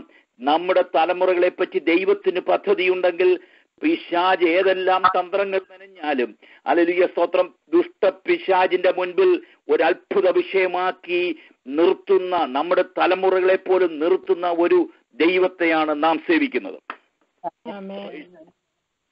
കർത്താവായ യേശു ക്രിസ്തുവിന്റെ ജനന സമയത്തും അത് തന്നെയല്ലേ സംഭവിച്ചത് യേശുവിനെ നശിപ്പിച്ചു കളയുവാൻ യേശുവിനെ ലോക ലോകത്തിന്റെ പാപത്തിന്റെ പരിഹാരം ലോകരക്ഷിതാവ് ലോകത്തിന്റെ വിമോചകനായിട്ട് ഇന്ന് വരെ ജനിച്ചിട്ടുള്ള സകല മാനവരാശിയുടെയും ഇനി ഭൂമിയിൽ പിറക്കുവാൻ പോകുന്ന സകല മാനവരാശിയുടെയും പാപത്തിന്റെ പരിഹാരത്തിന് വേണ്ടി പാപവിമോചകനായിട്ട് ഈ ഭൂമിയിൽ പിറന്ന യേശു കർത്താവിനെ കൊല്ലുവാൻ വേണ്ടി ഹെരോദാവ് കൽപ്പന പുറപ്പെടുവിച്ചപ്പോൾ അന്ന് നിഷ്കളങ്കരായ എത്രയെത്ര പിഞ്ച് ആൺകുഞ്ഞുങ്ങൾ കൊല്ലപ്പെട്ടുവെങ്കിലും പറയട്ടെ ദൈവമയച്ചവൻ ദൈവത്തിന്റെ പുത്രൻ ലോകത്തിന്റെ വിമോചകൻ ലോകത്തിന്റെ പാപത്തിൽ നിന്ന് വിമോചിക്കുവാൻ രക്ഷിക്കുവാൻ ദൈവം അയച്ച വ്യക്തി മറ്റൊരു ദേശത്ത് സുഖമായി വളർന്നു വന്നല്ലോ. ഇതാണ് ദൈവത്തിന്റെ പദ്ധതി എന്ന് പറയുന്നത്. നോക്കണം ഞാൻ പറഞ്ഞത് ഈ പരിപാടി അല്ലെങ്കിൽ മനുഷ്യപുത്രന്റെ കാലത്ത് ഇതുപോലെയുള്ളതായ പദ്ധതികൾ ദൈവത്തിനു വേണ്ടി അല്ലെങ്കിൽ തിരഞ്ഞെടുക്കപ്പെടുന്ന അനേകരെ അനേകരെ നശിപ്പിച്ചു കളയുവാൻ തിരഞ്ഞെടുക്കപ്പെടുവാൻ അലലിയ സ്തോത്രം ദൈവം പ്ലാൻ ചെയ്തിട്ടുള്ളവരുള്ളപ്പോൾ അലലിയ ആ സന്ദർഭങ്ങളിൽ പോലും അനേകര് കൊല്ലപ്പെട്ടുകൊണ്ടിരിക്കുന്ന കാലഘട്ട അല്ലെങ്കിൽ അവസരമാണ് വചനത്തിൽ നാം മനസ്സിലാക്കിയത്. അങ്ങനെയെങ്കിൽ നമ്മുടെ കർത്താവായ യേശു ക്രിസ്തുവിന്റെ അടുത്ത വരമെങ്കിലും കർത്താവായ യേശു ക്രിസ്തുവിന്റെ ആദ്യത്തെ വരവെങ്കിൽ അനേക ശിശുക്കൾ കൊല്ലപ്പെട്ടതുപോലെ ഒരു ഹലലിയ ഒരു ശിശു ശിശു ശിശുക്കളുടെ അല്ലെങ്കിൽ ഗർഭസ്ഥ ശിശുക്കളുടെ ഹത്യ ഈ ലോകത്തിൽ നടന്നുകൊണ്ടിരിക്കുമ്പോൾ അത് വർദ്ധിച്ചു കൊണ്ടിരിക്കുമ്പോൾ നാം ഒരു കാര്യം മനസ്സിലാക്കണം. നമ്മുടെ കർത്താവിന്റെ രണ്ടാമത്തെ വരവ് അടുക്കൽ വാദിക്കലായിരിക്കുന്നുവെന്ന് ഞാൻ പറഞ്ഞത് നിങ്ങൾക്ക് മനസ്സിലായോ? നമ്മുടെ കർത്താവായ യേശുക്രിസ്തുവിന്റെ ആദ്യത്തെ വരമെങ്കിൽ അക്ഷരീയമായി അനേക കുഞ്ഞുങ്ങൾ ജനിച്ച കുഞ്ഞുങ്ങൾ മരിച്ചെങ്കിൽ ഞാൻ പറയട്ടെ എന്റെ കർത്താവിന്റെ രണ്ടാമത്തെ വരവെങ്കിൽ ഇതുപോലെ മ്ലേച്ഛകരമായ ഗർഭസ്ഥ ശിശുക്കൾ മ്ലേച്ഛകരവും ദുഷ്ടവും ഹീനവുമായ നിലയിൽ ഗർഭസ്ഥ ശിശുക്കളെ നശിപ്പിച്ചുകൊണ്ടിരിക്കുന്ന അലലിയ ഇതുപോലൊരു ദുഷ്ട കാലഘട്ടം ഇതിനു മുമ്പിൽ ഒരിക്കൽ പോലും ഉണ്ടായിട്ടില്ല. അതുകൊണ്ട് നമ്മുടെ തലകളെ ഉയർത്തി നോക്കണം നമ്മുടെ കണ്ണുകളെ ഉയർത്തി നോക്കണം നമ്മുടെ പ്രത്യാശ വർദ്ധിക്കണം. നമ്മുടെ കർത്താവിന്റെ മനുഷ്യപുത്രന്റെ വരവും അടുക്കൽ വാദിക്കലായിരിക്കും. ജനപ്പെരുപ്പ് ജനസംഖ്യാ വർധനവിനെ പറ്റിയാണല്ലോ നാം വിചിന്തനം ചെയ്തുകൊണ്ടിരിക്കുന്നത്. ഇനി കുറെ അല്പം ഒന്ന് രണ്ട് കാര്യങ്ങളുടെ ഞാൻ പറഞ്ഞ് മുന്നോട്ട് പോ ആ ഭാഗം മുന്നോട്ട് കൊണ്ടുവരുവാൻ ഞാൻ കർത്താവിൽ ആഗ്രഹിച്ച് അങ്ങനെ ആ ഭാഗം ഇന്ന് രാത്രിയിൽ നിർത്തുവാനാണ് ഞാൻ ദൈവസ്ഥനിൽ ആഗ്രഹിക്കുന്നത്. നോക്കണം. ഈ ജനസംഖ്യ വർധനവ് മൂലം നോക്കണം. ഈ ജനസംഖ്യ വർധനവിനെ പറ്റി ഞാൻ നേരത്തെ പറഞ്ഞതുപോലെ തന്നെ ഈ നമ്മൾ ഞാൻ പറഞ്ഞത് ഈ ജനസംഖ്യ വർധനവ് എല്ലാ കാലഘട്ടത്തിലുമുണ്ട്. എന്നാൽ ഒരു ഒരു അതിന്റെ റേഷ്യോ അതിന്റെ ആ നിരക്ക് വർധനവിന്റെ നിരക്കിന്റെ വ്യത്യാസമാണ് ഞാൻ സംസാരിക്കുന്നത്. അല്ലെങ്കിൽ പറഞ്ഞത് നിങ്ങൾക്കത് പിടികിട്ടിയെന്ന് ഞാൻ വിശ്വസിക്കുകയാണ്. ഇപ്പോഴുള്ള ആ നിരക്കും അല്ലെങ്കിൽ ജനസംഖ്യ വർധനവിന്റെ നിരക്കും ഈ നോഹയുടെ കാലത്തുള്ള ജനസംഖ്യ വർധനവ് നിരക്കും അതിനുള്ള മറ്റുള്ള കാലഘട്ടത്തിലുള്ള ആ വർധനവിന്റെ നിരക്കും തമ്മിൽ ഒത്തിരി ഒത്തിരി വ്യത്യാസമുണ്ട്. അതുകൊണ്ടാണ് പറഞ്ഞത് നോഹയുടെ കാലഘട്ടത്തിൽ എങ്ങനെ ഒരു ഒരു ഒരു ഒരു ഒരു കുതിപ്പ് ജനസംഖ്യ ജനസംഖ്യയിൽ ഒരു വലിയ കുതിപ്പുണ്ടായതുപോലെ അങ്ങനെ വലിയൊരു വ്യത്യാസമാണ് കഴിഞ്ഞ ഈ കഴിഞ്ഞ നൂറ്റാണ്ട് ഇരുപതും ഇരുപത്തിയൊന്നും നൂറ്റാണ്ടുകളിലായിട്ട് നമ്മുടെ കണ്ണു മുൻപിൽ നാം കണ്ടുകൊണ്ടിരിക്കുന്നത്.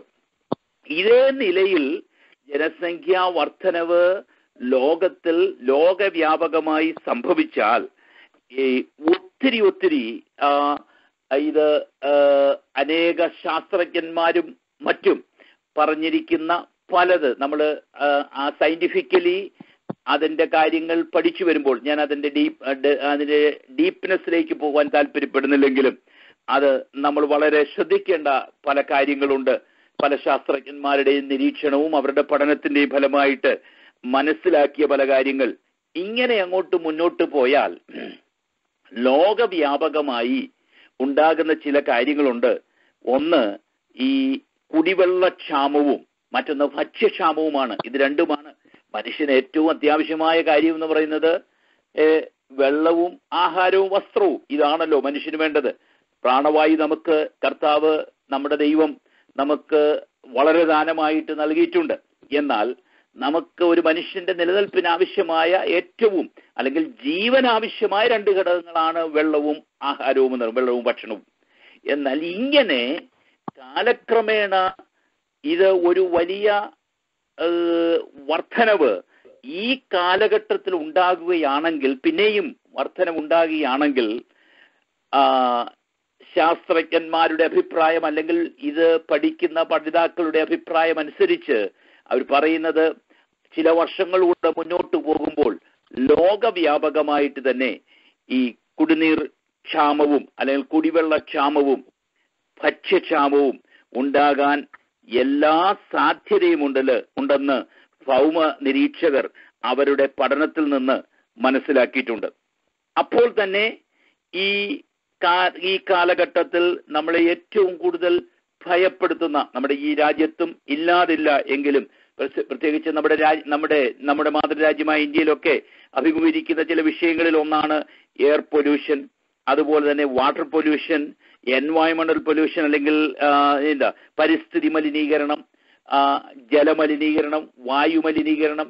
ഇങ്ങനെ ഒത്തിരി ഒത്തിരി ദോഷങ്ങൾ ഈ പ്രകൃതിയിൽ തന്നെ ഉണ്ടാകുന്നുണ്ട്.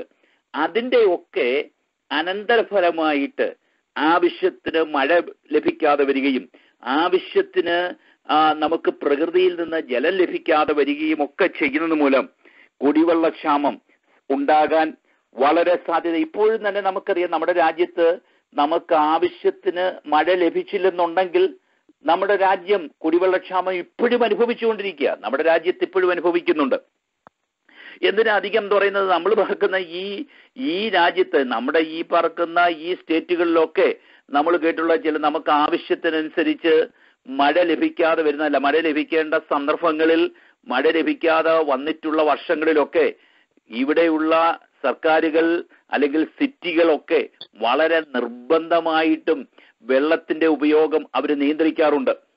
ഈ നമ്മുടെ യാർഡുകൾക്കൊക്കെ വെള്ളം നനയ്ക്കുന്ന കാര്യത്തിലൊക്കെ അവർ സ്ട്രിക്റ്റ് ആയിട്ട് പറയാറുണ്ട്. ആഴ്ച രണ്ട് ദിവസമോ മൂന്ന് ദിവസമോ അല്ലെങ്കിൽ സ്ട്രീറ്റിന്റെ അങ്ങേ സൈഡും ഇങ്ങേ സൈഡും ഉള്ള ആളുകൾ ഒന്നിടപെട്ടുള്ള ദിവസങ്ങളിൽ മാത്രമേ ഈ യാർഡ് നനയ്ക്കാവൂ എന്നും അങ്ങനെയുള്ള നിയമങ്ങളൊക്കെ പുറപ്പെട്ടിട്ടുള്ള വർഷങ്ങളൊക്കെ ഞാൻ ഇപ്പോഴും ഓർക്കുന്നു. കാരണം സമയത്ത് മഴ ലഭിക്കാതെ വരുമ്പോൾ ഈ ലേക്കുകളിലൊന്നും വെള്ളമില്ലാതെ വരും. അങ്ങനെ വരുമ്പോൾ വെള്ളത്തിന് നിയന്ത്രണമുണ്ടാകും. ഇത് ഒരു ഭാവിയിലും സംഭവിക്കാവുന്ന ഏറ്റവും വലിയ ഒരു ഒരു ഒരു നമ്മളെ വെല്ലുവിളിക്കുന്ന തരത്തിലുള്ള ഒരു സംഭവമായി മാറും എന്നുള്ളതിന് യാതൊരു സംശയവുമില്ല.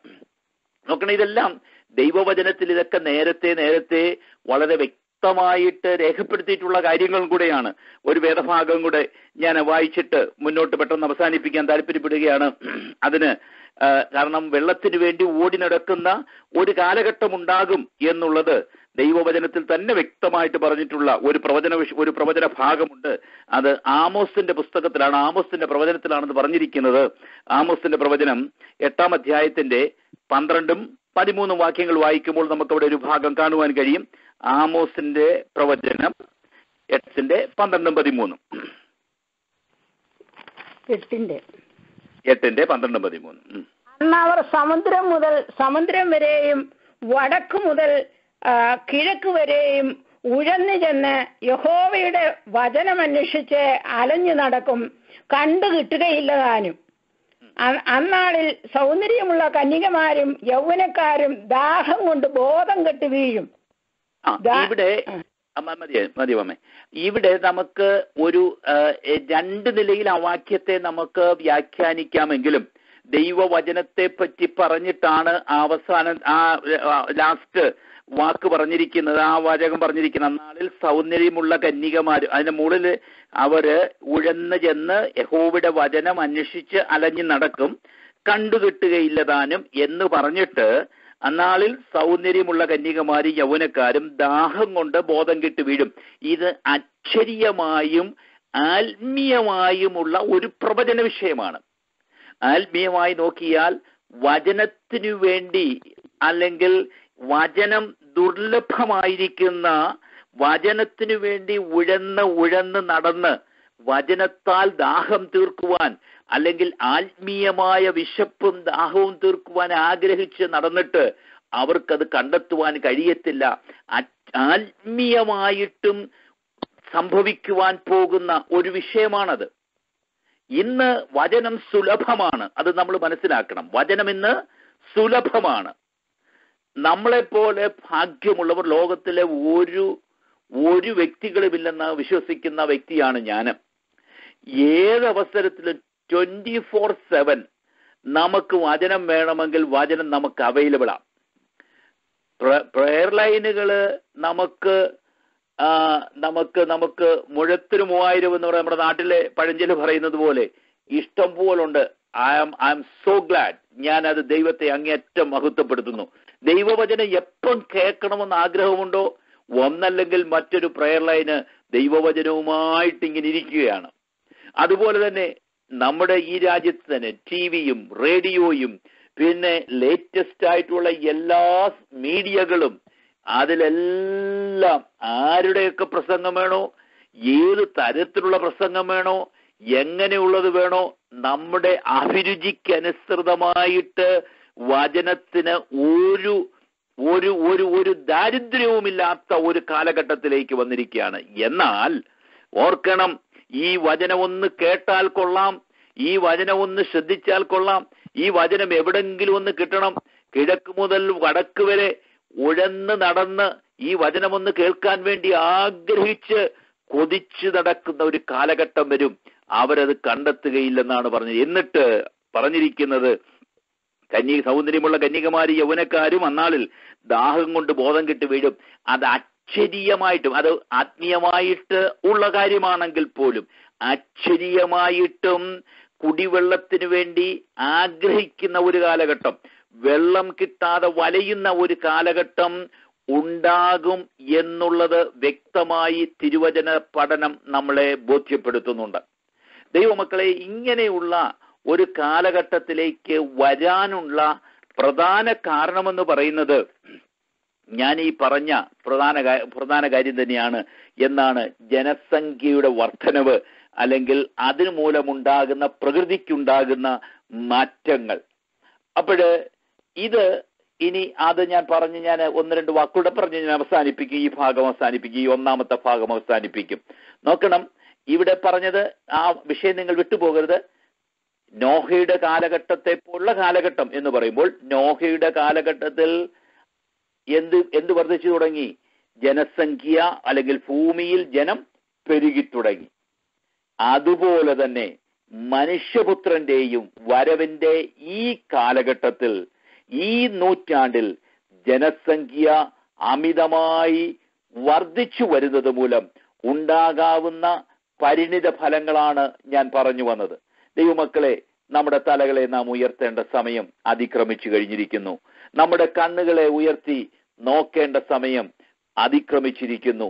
നമ്മുടെ കർത്താവിന്റെ വരവ് അടുക്കൽ വാദിക്കലായിരിക്കുന്നു അതേപോലെ ഒരു കാലം കാലഘട്ടം നോഹയുടെ കാലഘട്ടം പോലെ മനുഷ്യപുത്രന്റെയും കാലഘട്ടത്തിൽ സംഭവിക്കും എന്ന് പറഞ്ഞിരിക്കുമ്പോൾ ഈ അന്ത്യകാലഘട്ടത്തിൽ നാം മനസ്സിലാക്കേണ്ടത് ഈ ജനസംഖ്യയുടെ അമിതമായ വർധനവും അതുമൂലമുണ്ടാകുന്ന പരിണിത ഫലങ്ങളും നമ്മൾ കാണുമ്പോൾ നമ്മൾ ഹലലിയ ഒരു കാര്യം പിന്നെയും ഞാൻ ആവർത്തിച്ച് പറഞ്ഞു നിർത്തട്ടെ. ന മനസ്സിലാക്കേണ്ട കാര്യം മറ്റൊന്നുമല്ല. നമ്മുടെ കർത്താവിന്റെ വരവ് അടുക്കൽ വാതിക്കലായിരിക്കുന്നു. അലലുയ നമ്മൾ ഈ ഭൂമിയിൽ എന്തൊക്കെ നേടിയെന്ന് പറഞ്ഞാലും നാം ആരൊക്കെയാണെന്ന് പറഞ്ഞാലും എന്ത് പേരും പെരുമയും നമ്മുടെ ജീവിതത്തിൽ ഉണ്ടെന്ന് പറഞ്ഞാലും എന്തെല്ലാം സുഖസൗകര്യങ്ങൾ ഇന്ന് നാം അനുഭവിക്കുന്നു എന്ന് പറഞ്ഞാലും ഒരു കാര്യം കൂടെ മനസ്സിലാക്കുക. നമ്മുടെ കർത്താവിന്റെ വരവ് അടുക്കലായിരിക്കുന്നു. മനുഷ്യപുത്രന്റെ കാലം നോഹയുടെ കാലം പോലെ തന്നെയായിരിക്കും. അതുകൊണ്ട് ഈ ദിവസങ്ങളിൽ നമ്മുടെ കർത്താവിന്റെ വരവിന് വേണ്ടി ഒരുങ്ങി അതിനുവേണ്ടി ആഗ്രഹത്തോടെ നമ്മുടെ ജീവിതത്തെ സൂക്ഷിച്ച് വിശുദ്ധിയോടെ നമ്മുടെ ശിഷ്ടകാലം കഴിക്കുവാൻ ദൈവമായ കർത്താവ് സഹായിക്കട്ടെ. നോഹയുടെ കാലഘട്ടം പോലെയുള്ള കാലഘട്ടം എന്ന് പറഞ്ഞ ഒന്നാമത്തത് ജനസംഖ്യ വർധനവുള്ള ഒരു കാലഘട്ടം. ബാക്കി കാര്യങ്ങൾ കർത്താവ് വരുവാൻ താമസിച്ചാൽ അടുത്ത ദിവസങ്ങളിൽ നമുക്ക് പഠിക്കാം. ദൈവമായ കർത്താവ് സഹായിക്കട്ടെ ഇന്ന്. രാത്രിയിൽ ഈ കേട്ട വചനം നമ്മുടെ ജീവിതത്തിൽ അനുഗ്രഹമായി തീരട്ടെ. ഞാൻ പറഞ്ഞ പരിശുദ്ധാത്മാവ് ഇടയ്ക്ക് പറഞ്ഞ ഒരു ദൂത് ഞാനത് ആവർത്തിക്കുന്നതിൽ ക്ഷമിക്കണം.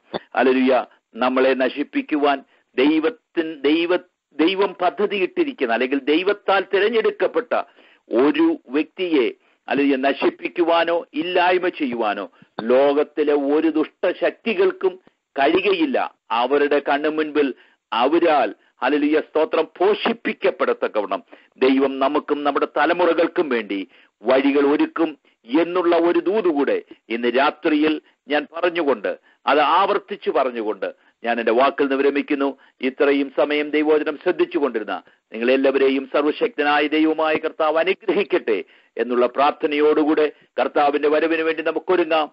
ദൈവം നമ്മളെ സഹായിക്കട്ടെ. താങ്ക് യു പാസ്റ്റർ ദൈവത്തിന് സ്തോത്രം. പൈസറോ ഹാലൽവിയ ലൂക്കോസിന്റെ ശേഷം പതിനേഴാം അധ്യായ ഇരുപത്തി ആറാം വാക്യം ആസ്പദമാക്കി ദൈവത്തിന് സ്തോത്രം. അത് നോഹയുടെ കാലത്ത് കാലത്തെ പോലെ തന്നെ കർത്താവിന്റെ കാലത്തും സംഭവിക്കും. ദൈവത്തിന് സ്തോത്രം. അതിൽ മുഖ്യമായും ജനസംഖ്യയുടെ പെരുപ്പം. നോഹയുടെ കാലത്ത് ജനസംഖ്യ ക്രമാതീതമായി ജനസംഖ്യയുടെ വീഴ്ച വളരെയധികം വർദ്ധിപ്പാൻ തക്ക ഇടയായി തീർന്നുവെന്നാണ് വയനത്തിലൂടെ കർത്താവിന്റെ ദാസം നമ്മളെ ദൈവത്തിന് സ്തോത്രം നമുക്ക് ബോധ്യപ്പെടുത്തി തന്നു. അതുപോലെ തന്നെ നാം ആയിരിക്കുന്ന ഈ കാലഘട്ടത്തിലും ജനസംഖ്യയുടെ റേഷ്യോ വളരെ വർദ്ധിച്ചുകൊണ്ടിരിക്കുന്നു. അതായിട്ടും ദൈവത്തിന് സ്തോത്രം തെളിവുകളിലൂടെ നമ്മളെ ബോധ്യപ്പെടുത്തിയല്ലോ.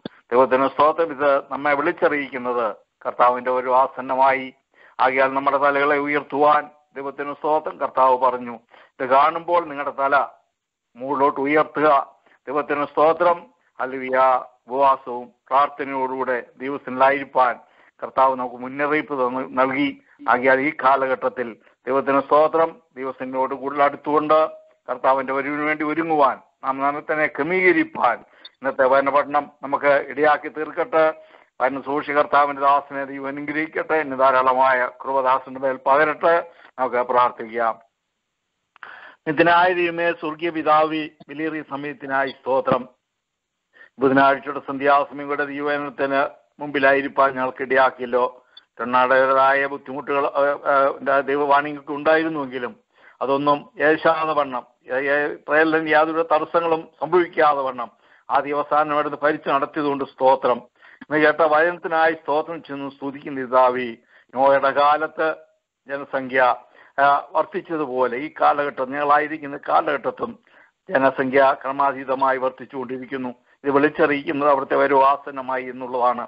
ആകിയാൽ ഞങ്ങൾ ഞങ്ങളെ തന്നെ ക്രമീകരിച്ചുകൊണ്ട് കർത്താവിന്റെ ഒരു വേണ്ടി ഒരുങ്ങുവാൻ ഇന്നത്തെ മനുകീഴ് ഞങ്ങൾക്ക് ഇടയാക്കി തീർത്തുകൊണ്ട് സ്തോത്രം ചെന്നു സ്തുതി ദൈവത്തിന് സ്തോത്രം. സൂക്ഷ്യദാസിനെ ഏൽപ്പിക്കുന്ന ദാവി അറിയാ ദൈവത്തിന് സ്തോത്രം. പരിശുദ്ധാത്മാവിനായി എഴുതപ്പെട്ടവൻ ആത്മാവിന്റെ നിറവിൽ തന്നെ ഇന്ന് സന്ധ്യാസമയവും. ഞങ്ങളുടെ മധ്യയെ അലുയാ ദൈവത്തിന് സ്തോത്രം. പ്രഘോഷിപ്പാണ്ട ദാസനെ അൽവിയ കരങ്ങളെടുത്തിന് ആ സ്തോത്രം ചെയ്യുന്നു സ്തുതിക്കുന്നു. ദാസനോട് നടത്ത ചെയ്യിപ്പിക്കുന്ന എല്ലാ ദൈവത്തെ സൂക്ഷിച്ച പ്രവർത്തനങ്ങൾക്കായി സ്തോത്രം. നാളുകളിൽ പ്രൈസറോടെ വിശാലിലേക്ക് കൊണ്ടുവരുമാറാകണം കുടുംബമായി മാനിക്കുമാറാകണമേ. എല്ലാ സുരക്ഷയുടെ അനുഗ്രഹിക്കുമാറാണ് തലമുറകളെ അനുഗ്രഹിക്കുമാറെന്ന് പ്രാർത്ഥിക്കുന്നു. കുടുംബമായി പ്രാർത്ഥിക്കുന്ന എല്ലാ വിഷയത്തിന്മേൽ സ്വർഗം മറുപടി നൽകി മാനിക്കേണ്ടെന്ന് പ്രാർത്ഥിക്കുന്നു. പാട്ടുപാടി വേദങ്ങൾക്കായി സ്തോത്രം. അവരെ കൃപയിൽ കാക്കുമാറാകണമേ. ദൈവത്തിന് കുടുംബമായി മാനിക്കണം. മാതാപിതാക്കന്മാരെ അനുഗ്രഹിക്കുമാറണമേ അപ്പൊ വേദങ്ങളുടെ വിദ്യാഭ്യാസം മാനിക്കണം. ഭാവി അനുഗ്രഹിക്കുമാറാണെന്ന് പ്രാർത്ഥിക്കുന്നു. പ്രാർത്ഥിക്കുന്ന കർത്താവിന്റെ ദാസിക്കായി സ്തോത്രം ഒരു കുടുംബമായി മാനിക്കുമാറാകണമേ വനം വായിച്ച സഹായിച്ച ദാസി ഏൽപ്പിക്കുന്നു. കുടുംബമായി ഇവിടെ മാനിക്ക് അനുഗ്രഹിക്കുകയും ചെയ്യുമാറെന്ന് പ്രാർത്ഥിക്കുന്നു. ഇന്ന് പ്രേലനായിരുന്ന ഏവരെയും തീർക്കരങ്ങൾ ഏൽപ്പിക്കുന്നു. അടിങ്ങൾക്ക് അനുഗ്രഹമാക്കി തീർത്തതുകൊണ്ട് സ്തോത്രം. ആൽവിയാ സന്ധ്യാസമയവും.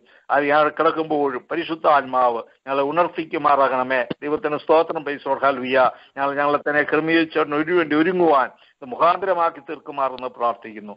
പേളനെ അനുഗ്രഹിക്കുമാറാകണമേ. സൈമനെ കുടുംബമായി അനുഗ്രഹിക്കുമാറെന്ന് പ്രാർത്ഥിക്കുന്നു. ദൈവത്തിന് സ്തോത്രം. നീ പ്രാർത്ഥന കടംപെട്ടിരിക്കുന്ന ഏവരെയും തീർക്കരങ്ങൾ ഏൽപ്പിക്കുകയാണ്. അടിങ്ങളെ താഴ്ത്തി ഏൽപ്പിക്കുന്നു. പ്രാർത്ഥന കേട്ടതുകൊണ്ട് സ്തോത്രം. ക്രിസ്തുയേശുവിന്റെ നാമത്തിൽ തന്നെ ആമീൻ. പിതാവായ ദൈവത്തിന്റെ സ്നേഹവും പുത്രനായ യേശു ക്രിസ്തുവിന്റെ കൂട്ടായ്മയും പരിശുദ്ധാത്മാവിന്റെ സംബന്ധവും സഹവാസവും ഞങ്ങൾ ഓർത്ത് പ്രാർത്ഥിച്ച എല്ലാ കാര്യങ്ങളോടും കർത്താവിന്റെ ഒരു വരി ഉണ്ടായിരിക്കുമാറാകട്ടെ. കർത്താവായ യേശു ക്രിസ്തു മുഖാന്തരം എന്ന സന്ധ്യാസമിതിയും ജയം നൽകിയ ദൈവത്തിന് സ്തോത്രം. ഹാലേ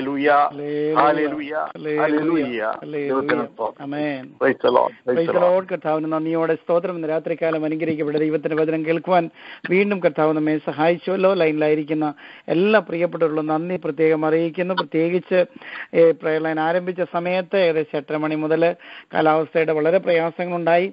കർത്താവിന്റെ ദാസൻ പ്രിയ തങ്കച്ചായൻ എന്നോട് ഒന്ന് രണ്ട് തവണ വിളിച്ചു. അവിടെ വളരെ സൈറനൊക്കെയും ഉണ്ട്. നല്ല കാറ്റും മഴയും ഒക്കെയാണ്. എന്നാൽ ഒരു തടസ്സവും കൂടാതെ ഇന്ന് രാത്രികാലവും പ്രയർ ലൈൻ നടത്തുവാൻ തക്കോണം ദൈവ നടക്കുവാൻ തക്കോണം ദൈവത്തിന്റെ പരിശുദ്ധാത്മാവ് സഹായിച്ചല്ലോ. ദൈവമായ കർത്താവിന് നമുക്ക് നന്ദി കരേറ്റാം. നന്ദിയോടെ സ്തോത്രം. കാലാവസ്ഥ മോശമായിരുന്നുവെങ്കിലും നമ്മുടെ പ്രിയപ്പെട്ടവരെയും നമ്മെയും കർത്താവ് പരിപാലിച്ച ദൈവത്തിന്റെ കരുണയ്ക്കായിട്ട് നമുക്ക് കർത്താവിന് സ്തോത്രം ചെയ്യാം. ഇന്ന് രാത്രികാലം ദൈവത്തിന്റെ വചനം നാം കേട്ടതുപോലെ ഹാലലിയ സ്തോത്രം. കർത്താവിന്റെ വരവ് ഏറ്റവും അടുത്തിരിക്കുന്നു. ആ ഒരു കാലഘട്ടത്തെയാണ് നാം ഇന്ന് നമ്മുടെ ചുറ്റുപാട് നടക്കുന്ന സംഭവങ്ങൾ അതെ നമ്മെ നമ്മെ ഓർമ്മിപ്പിക്കുന്നത്. കർത്താവിന് സ്തോത്രം. പ്രത്യേക കർത്താവിന്റെ ദാസൻ പറഞ്ഞൊരു കാര്യം ഇന്ന് രാത്രികാലം വിശ്വാസത്തോടുകൂടി നമുക്ക് നമ്മുടെ തലമുറയ്ക്ക് വേണ്ടി പ്രാർത്ഥിക്കാം. നമ്മുടെ തലമുറയെക്കുറിച്ച് ദൈവത്തിനൊരു ആഗ്രഹമുണ്ടെങ്കിൽ ദൈവം അവന്റെ പ്ലാനിൽ നമ്മുടെ തലമുറയാക്കിയിരിക്കുന്നുവെങ്കിൽ അത് മാറ്റുവാൻ ഒരു വ്യക്തിക്കോ ഒരു ശക്തിക്കോ ലോകത്തുള്ള ഒരു ദുഷ്ടപ്രവർത്തനങ്ങൾക്കോ സാധ്യമാകുകയില്ല നമ്മുടെ തലമുറകളെ പ്രത്യേകം ദൈവകരങ്ങൾ സമർപ്പിച്ച് അനുഗ്രഹിച്ച് പ്രാർത്ഥിക്കാം. അവരെ ഓർ നമ്മുടെ പ്രാർത്ഥനയിൽ അവരുടെ അവരുടെ ജീവിതത്തിലെ അനുഗ്രഹത്തിന് വേണ്ടി വീണ്ടും വീണ്ടും നാം പ്രാർത്ഥിക്കുവാനും അവരെ ഓർക്കുവാനും ദൈവത്തിന്റെ പരിശുദ്ധാത്മാവ് നമ്മെ ഓർമ്മിപ്പിക്കുന്നു. രാത്രികാല വചനം സംസാരിച്ച കഥാവിന്റെ ദാസൻ പാസ്റ്റർ അലക്സ് വെട്ടിക്കനുള്ള നന്ദി പ്രത്യേകം അറിയിക്കുന്നു. കഥാവിന്റെ ദാസനെയും കുടുംബത്തെയും അനുഗ്രഹിക്കട്ടെ. ഈ സെഷൻ ലീഡ് ചെയ്തായ കഥാവിന്റെ ദാസൻ പ്രിയ തങ്കച്ചാനുള്ള നന്ദി പ്രത്യേകം അറിയിക്കുന്നു. ദാസനെയും കുടുംബത്തെയും കർത്താവ് അനുഗ്രഹിക്കട്ടെ മാനിക്കട്ടെ. നന്ദിയോടെ സ്തോത്രം. പാട്ട് പാട്ട് പാടിയതായ കുഞ്ഞുങ്ങളെ എക്സമോളെ അബിയമോളെ ഓർത്തുകൊണ്ട് സ്തോത്രം ചെയ്യുന്നു. കർത്താവ് കുഞ്ഞുങ്ങളെ അനുഗ്രഹിക്കട്ടെ. ഇന്ന് രാത്രി കാലം ലൈനിൽ പങ്കെടുത്ത എല്ലാവരോടും നന്ദി അറിയിക്കുന്നു. നാളെ രാവിലെ അഞ്ച് മണിക്ക് വേണ്ടി നമുക്ക് മധ്യസ്ഥ പ്രാർത്ഥനയ്ക്കായിട്ട് കടന്നു വരാം. നാളെ വൈകിട്ട് എട്ടര മണിക്ക് ഇംഗ്ലീഷ് കുഞ്ഞുങ്ങളുടെ സെഷനും അതിനുശേഷം ഒൻപത് മണിക്ക് മലയാളം സെഷനും ഉണ്ടല്ലോ കർത്താവിന്റെ നാമമഹത്വത്തിനായിട്ട് നമുക്ക് ഒരുമിച്ച് കൂടി വന്ന് പ്രാർത്ഥിപ്പാനും വിവിധ വിഷയങ്ങളെ ഏറ്റെടുത്ത് പ്രാർത്ഥിപ്പാനും കർത്താവ് നമ്മെ സഹായിക്കട്ടെ. Thank you have a blessed night